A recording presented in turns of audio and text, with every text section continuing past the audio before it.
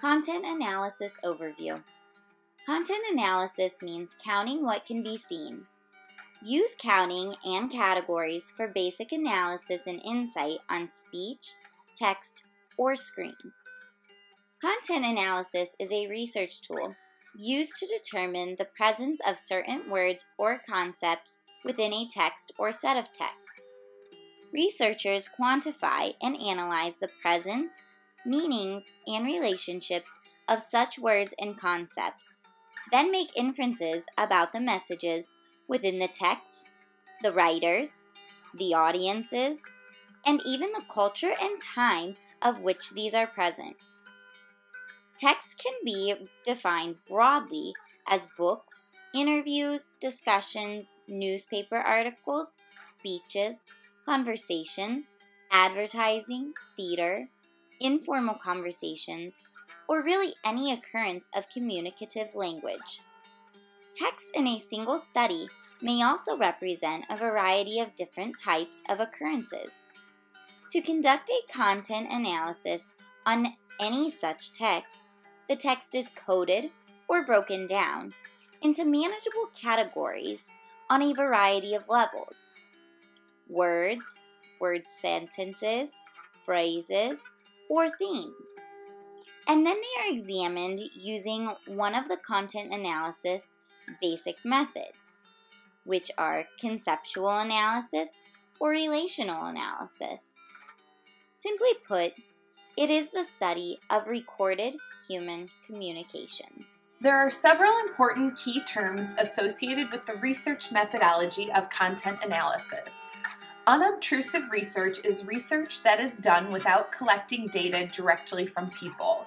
The data is collected from multiple sources without interacting with people. Conceptual analysis is the analyzing of the existence and frequency of concepts in human communication using text messages, Twitter, radio, email, and many other communication sources. Relation analysis is the analyzing of relationships between concepts and human communication.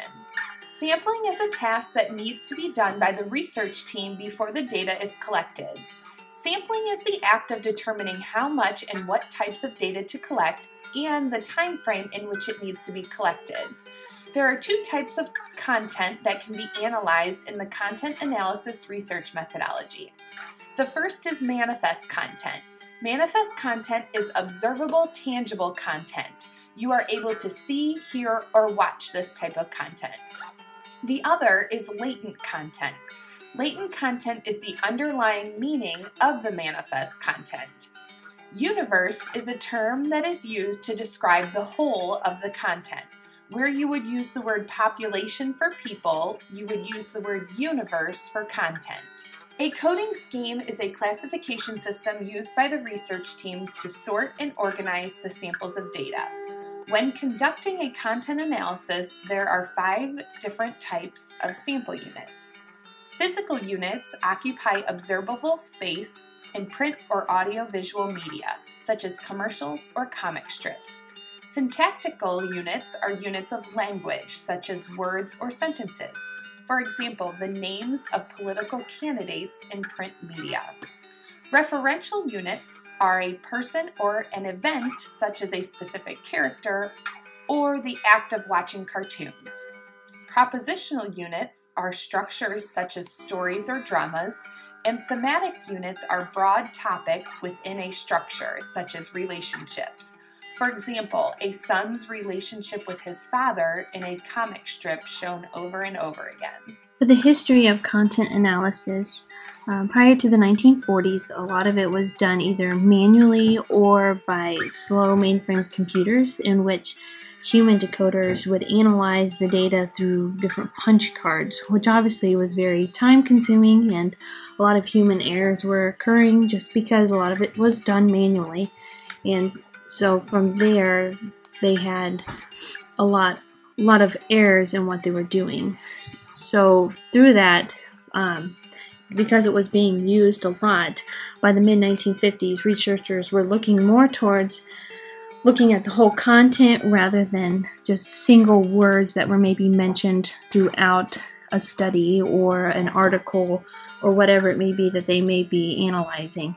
So it was more of the content rather than the words that they were looking at. Today, both both options are still used, but more focus on the whole content rather than single words just because it is very time consuming and they look more at the relationships uh, between what is what is in the content and how that affects society and so social, cultural, historical, and linguistic and cognitive significance. Some popular uses of content analysis is um, any piece of writing or current a recorded communication, whether this be anything with media or productions or interviews that happen. It's used in many different fields of study, which will be discussed later. Uh, it detects international differences that may occur because uh, because maybe what is being analyzed will affect a different culture rather than um, per se and per se a different one. It detects propaganda and really what's what's out there and how it is affecting others. The it really identifies the main focus of communication, which is uh, through content analysis, is more of the verbal or visual way that they're trying to communicate a certain message to an audience. And of course, the behavioral and attitude responses with that and how it affects whoever it's directed towards and just really their attitude towards it and their behaviors maybe in response to it. It also detects psychological or an emotional state of groups or person. Again, just kind of seeing their response from the study and really how is it affecting them personally. The common theoretical frameworks that are used for content analysis are linguistic and cognitive science. For linguistic, it's more of analyzing the language that's being used within whatever unit or section of the study and how that really maybe is it a repetition of words that are used to really affect someone or are there certain words that are being used that can affect the certain audience that it's directed towards. And then with the cognitive science, there's the decision, the decision maps, which is uh, comparing and really seeing the representation of relationships between ideas and attitudes and what's really available to the author to make a decision within the text and to how they present that. These are usually these relationships are usually represented as logical, inferential, um, casual, sequential, and, math and mathematical. And usually there, this is a comparison between at least two, two different things in a single study. With the mental models, they're looking at, at it numerically and graphically.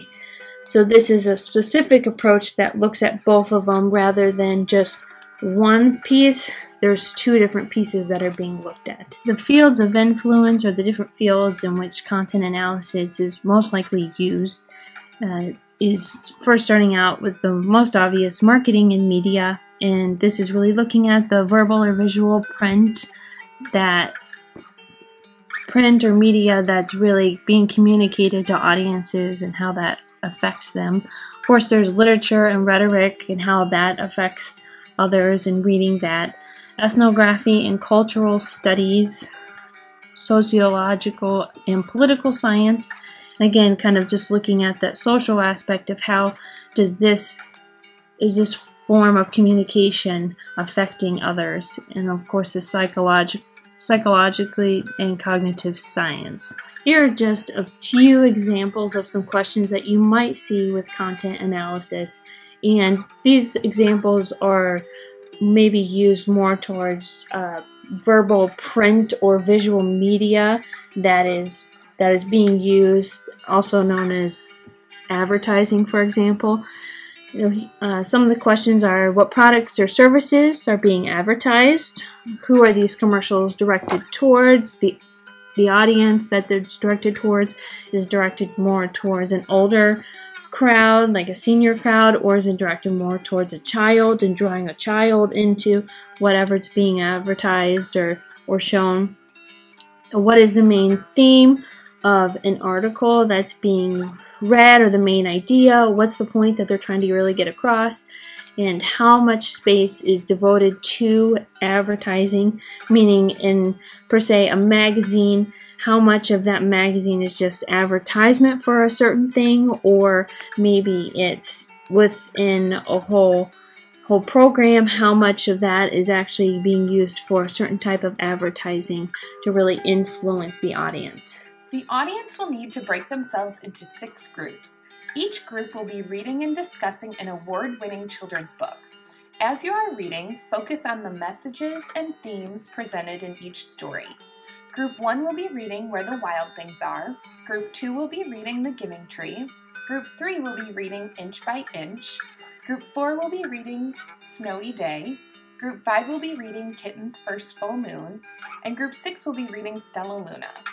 After you have finished reading and discussing in your small groups, we will come back together as a whole group so you can share your findings, and together we will discuss the following discussion questions. Preparing teachers to provide literacy instruction to all students. Faculty Experiences and Perceptions, written by Copeland, Keefe, Calhoun, and Wendy. Although there is an increased focus on reading instruction in schools, Little is known about how teachers of students with extensive support needs are prepared to provide literacy instruction for this group of students. This paper reports the results of an exploratory study of how literacy instruction is addressed within teacher education programs at institutions of higher education that prepare pre service and in service teachers to work with students with extensive support needs.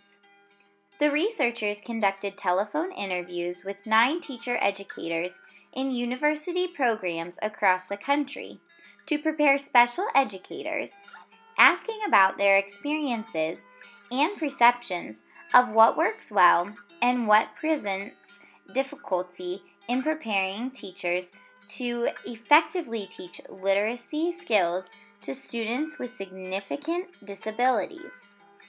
What additional research and practice knowledge is needed in this area, and how they view literacy instruction for students with extensive support needs, fitting into the current national debate of reading instruction methodology. Content analysis of the respondents' interviews yielded three broad themes that are discussed later on in this presentation. They do cover challenges, changes, and future directions for this field. The researchers then explored the implications of the study's findings for teacher preparation programs and the direction for future research. They examined transcripts independently and developed broad thematic categories based on the themes emerging from the careful readings of the participants' responses. Participants' responses were clustered under these thematic categories, and new categories developed as warranted from examining the participants' responses. The authors continued this process until each transcript had been analyzed. Next, they went to discuss and compare their separate analysis. Differences of opinion with respect to thematic category definitions or placement of the responses within themes were negotiated until a final consensus was reached. This is identified as one of the limitations to content analysis coding errors, because different people might code differently. All of the faculty participants had unique experiences and perceptions on providing appropriate preparation for candidates who teach literacy to students with extensive support needs. They were able to identify commonalities across the interview responses that start to provide a window into this important area of teacher preparation. Three broad thematic areas emerged from the analysis of the interview transcripts A. Challenges, B. Changes, and C. Future directions. Each of these areas was in turn compressed to a number of sub-themes,